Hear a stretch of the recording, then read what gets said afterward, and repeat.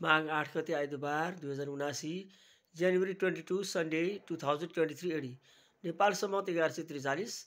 सबैलाई नमस्ते लासो। आज माघ आठ गते January twenty two Sunday. Sonam लोसारको पावन अवसरमा म सम्पूर्ण महानुभावहरूमा हार्दिक शुभकामना व्यक्त गर्दछु। साथै यसले राष्ट्रिय एकता सामाजिक सद्भाव र धार्मिक सहिष्णुता कायम गर्न सकोस् भन्ने इच्छा प्रकट गर्दछु। Good morning, everybody. On behalf of the auspicious occasion of Happy Losar 2079 BS today, I wish you all the best. May it bring or keep national unity and religious tolerance. Thank you.